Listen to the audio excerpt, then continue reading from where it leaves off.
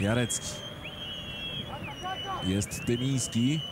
W polu karnym Telichowski, do niego zagranie Telichowski! 1 do 0 dla piłkarzy bytomskiej Polonii. Został Błażej Telichowski w polu karnym, został świetnie obsłużony i ta kilkuminutowa przewaga Polonii zostaje udokumentowana w 59 minucie meczu. Tak, nie, nie zdążył wrócić po stałym fragmencie Błażej Telichowski. Na Nie szczęście. próbował, no, a zachował się jak rasowy snajper. No, kapitalnie rzucił tą piłkę nad yy, Ferdziczem. Zobaczmy raz jeszcze. O, tam Stawarczyk tak, chyba tak. został. Jeszcze mam nadzieję, że Właśnie jeszcze raz sobie to Bo przeanalizujemy. to była naprawdę taka...